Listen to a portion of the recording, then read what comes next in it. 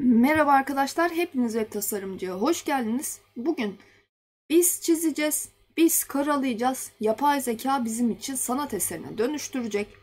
Video geçmeden önce eğer abone değilseniz abone olursanız çok sevinirim. Şimdi bu öyle bir yapay zeka ki siz diyelim ki bir şey karaladınız, devamını getiremediniz ya da devamını nasıl getireceğinizi bilmiyorsunuz. Ya da çocuğunuz bir şey çizdi ve siz onu daha güzelleştirmek istiyorsunuz. Yani daha ana olarak kalmasını istiyorsunuz. Bu e, yapay zeka sitesini kullanabilirsiniz. Sitemiz adı promeai.com. Linkini açıklama kısmında bulabilirsiniz. Home diye giriyorum. Bakın burada Sketch Rendering diye bir kısım var. Try Now diyorum. Ve burada herhangi bir çizimi ben alıyorum. Ekliyorum. Şimdi hep beraber buradan basic hatta şöyle yapalım. Child sketch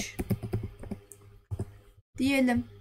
Çocukların çizdiği bir şey bulalım. Hatta bu görseli alalım. Aldım. Resmi farklı kaydet diyorum. Kaydettim. Böyle geliyorum. Resmimi buraya aktarıyorum. Bir de videoyu başlamadan önce yaptığım örnekleri de size göstereceğim. Burada diyor ki bana resimde detay söyle. Detaylarım şu şekilde. Um, blonde hair, sarı saç, green eye diyorum. Ve burada dilerseniz stili ekleyebilirsiniz. Ben Hiçbiri diyorum generate dedim.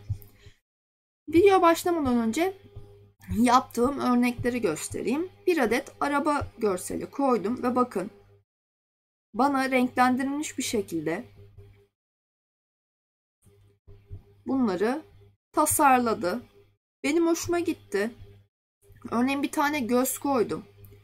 Ve bu gözü farklı bir şekilde bakın detayları eklemesi bence çok güzel.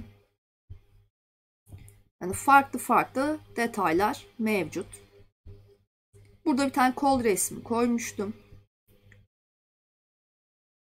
Bakın burada mesela blond hair dedik. Onu tam anlatamamışız. Onu da yeşil yaptı. Gözü de yeşil yaptı. Ama çizdiğimiz, yüklediğimiz görseli bir sanat eserine çevirdi diyebiliriz. Ücretsiz bir kullanımı mevcut. Tabi siz isterseniz profesyoneli de seçebilirsiniz bir miktar ücret ödeyerek bu şekildeydi. Sizler için umarım faydalı olmuştur. Eğlenceli bir içerik olmuştur. Beni izlediğiniz ve dinlediğiniz için teşekkür ederim. Hala abone değilseniz abone olur. Videoyu da beğenirseniz çok sevinirim. Diğer videolarda görüşmek üzere.